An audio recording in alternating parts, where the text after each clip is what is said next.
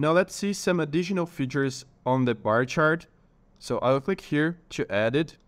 We'll see that in this data section, we have the option to add another dimension.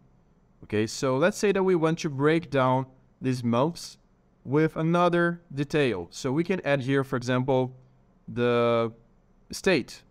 So if I add the state, each one of these months will be broken down, will be detailed by state, and the state legend is here.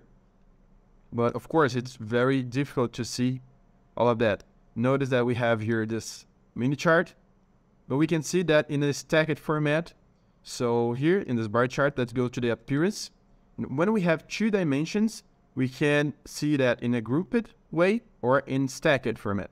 So clicking here, this will bring back the bars, but each one of these colors represents a state. So we can see that the California state has much more records than the rest. The second one here is Florida. And we also have the option to sort it here. So right now we're looking with the count of ID. We can sort according to the state. And inside these bars, if I add the expression here, so let's count the ID again, see that it will change inside each one of these bars, okay?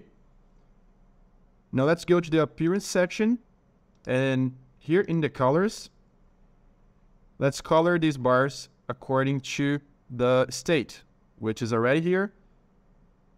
Let's make it persistent with 100 colors. Now, if we go to this chart, we can do the same and the colors will be the same as well. So let's click here, color everything by dimension, click on persistent colors, 100, and the states will have the same colors. So if I select here the top three states and apply the selection, we can now differ them much easier. As we can see, Texas is much lower here. I can apply the selection again. So if we want to see only Texas, let's click here and we'll see how it evolved. And now going back, same thing. So if we do the same chart with cities, the same thing will happen. So I will click here with the right button, cop copy this chart and paste again. And now instead of state, I will change here in the data. I will delete this and put city. Now let's go here in the appearance part and let's color them by state. Now, not only we know the city, but we also know the state when we hover the mouse on the bars. So Los Angeles, for example, located in California. So we have here the tooltip, but there's a very tricky point here. Some of these bars, they are gray. Miami, for example, should be in Florida, so the color should be green. But when we filter Miami, now we are looking only to this city. We can see that we have Miami also in Arizona and in this state that I don't know the name, sorry. But when we have more than one option, the color will not appear. So we'll have a gray, this light gray here, unless we break it down. So for example, if I click here in Florida, we'll only see the cities from Florida and the Miami cities that are not located in Florida are not here. So what we can do in this case, we can go back here. Let's add another expression. Instead of bringing the city here, only the this field, we can concatenate it right here in the field option using an expression with the state, okay? So I will open the editor, clicking here, and we will concatenate the city with the state, like this. Just like Excel, you know? So instead of only the city name, we'll also have the state.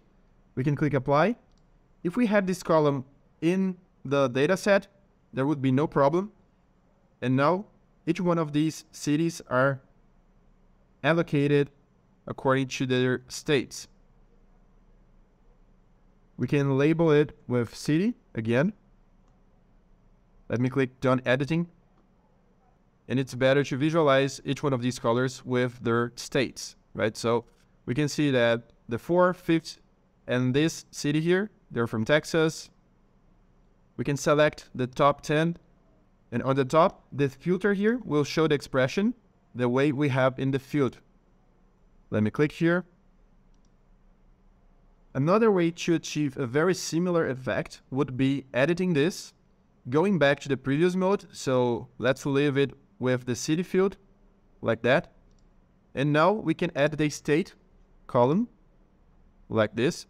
This is now divided by city and state. But let's make this chart stacked, just like this one. So going back to the presentation, make it stacked and we need to sort the city field. And now we can't really put the count of IDs on top. We need to add an expression to the city field.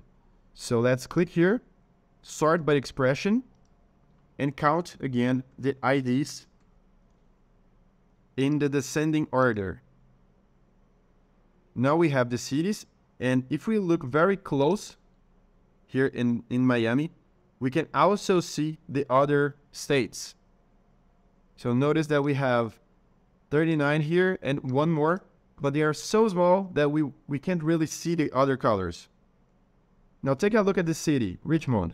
If I click here, there's a relevant number of accidents in California, in Richmond, California, but there's a much bigger part in this other state. And this is happening because we have the same name of cities in different states. Okay, this would not happen if we had the field concatenated with city and state.